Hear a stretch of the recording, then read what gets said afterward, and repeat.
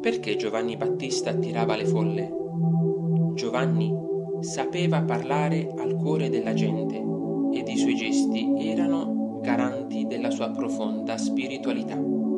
Era considerato un uomo di Dio. Chi sono coloro che oggi, nel nostro mondo autoreferenziale, ci guidano verso la verità e la felicità?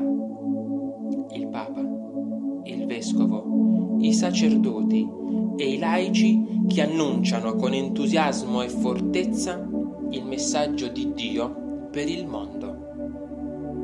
Sei mai stato un Giovanni Battista per qualcuno? Prega oggi per la persona che più di tutti ti ha aiutato a progredire nella vita spirituale.